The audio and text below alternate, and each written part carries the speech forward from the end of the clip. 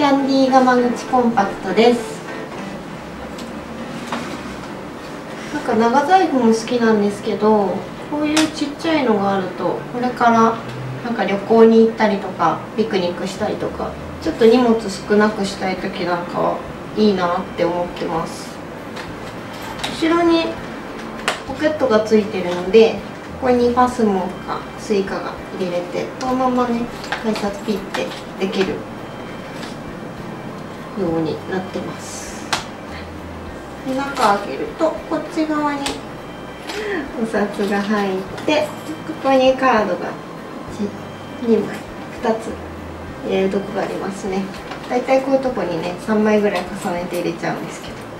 でここに筆にこれ見やすいですね。なんかすごい大きく口が開くから。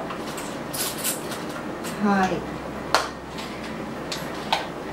水玉のキャンディーシリーズすごい人気で。これも新しく出て。ここにちょっと見えますか？ボタンのところに「甘味」って書いてあります。かわいい。